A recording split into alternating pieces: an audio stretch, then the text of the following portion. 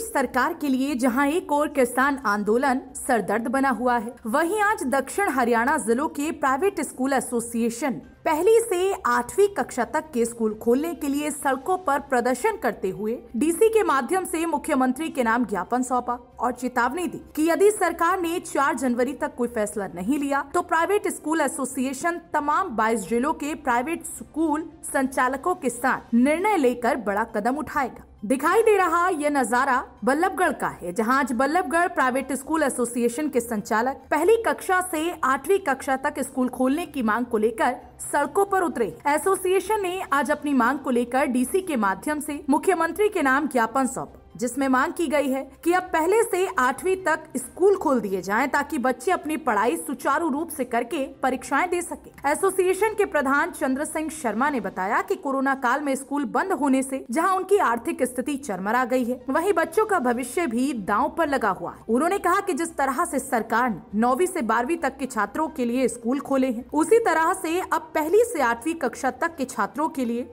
School खोले जाने चाहिए ताकि समय रहते बच्चे पढ़ाई कर सकें और अपने पेपर देकर अगली कक्षाओं में प्रवेश ले सके। उन्होंने चेतावनी दी है कि आज दक्षिण हरियाणा जिलों के प्राइवेट स्कूल संचालकों ने ज्ञापन देकर मांग की है कि यदि आगामी 4 जनवरी तक सरकार ने कोई फैसला नहीं लिया तो तमाम प्रदेश के 22 जिलों के प्राइवेट स्कूल एसोसिएशन मिलकर कोई बड़ा फैसला ले। इस अवसर पर अन्य स्कूल संचालकों ने कहा कि अब सरकार को पहली से आठवीं कक्षा तक पढ़ाई के लिए छूट दे देनी चाहिए, लेकिन वह सरकार से भी कोई टकराव की स्थिति पैदा नहीं करना चाहते मैं Chandrasen Sharma Ballabhgarh private school association का प्रधान।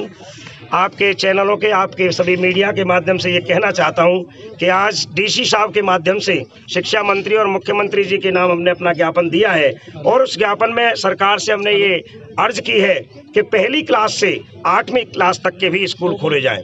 इसलिए अर्ज़ किया है कि पहले हमने ज्ञापन दिया था तो सरकार ने नौवीं क्लास से बारहवीं तक के हमारे स्कूल खोल दिए गए थे। आज हम चाहते हैं कि बच्चों का दस महीने से जो ऑनलाइन क्लासेस ले रहे थे, उसके माध्यम से उतना रिवीजन नहीं हो पाया। यदि दो महीने, तीन महीने इस सेशन में, जनवरी, फरवरी में स्कूल खोल दिए जाए तो इनका रिवीजन हो जाएगा, अच्छे से एग्ज़ाम दे पाएँगे और ये अगली क्लासों में जा पाए देखिए, आज हमने चार तारीख की डेडलाइन इसमें दी है, अपील की है सरकार से और छह जिलों के जो हमारे एसोसिएशन के प्रतिनिधि हैं, वो यही बात रख रहे हैं, एक सा ही ज्ञापन है कि सरकार चार तारीख से, चार जनवरी से हमारे स्कूलों को खोले और यदि इसमें कहीं सरकार की तरफ़ से कोताही रही तो हम चार तारीख के बाद अभी छः थे और 22 जिलों की एक संयुक्त मीटिंग बुला करके और किसी भी अगले स्टेप के लिए घोषणा करेंगे और इन स्कूलों के खोलने पर विचार करेंगे। ये डिमांड है कि पहले से आठवीं तक स्कूल जो है वो खोले जाएँ और ऑफलाइन जो स्टडी की इनकी डिमांड है उनकी जो भी मांग है वो हम आगे भेज देंगे। देखो, ये सरकार का डिसीज़न है, सरकार जब डिसीज़न लेगी, इसको भेज देंगे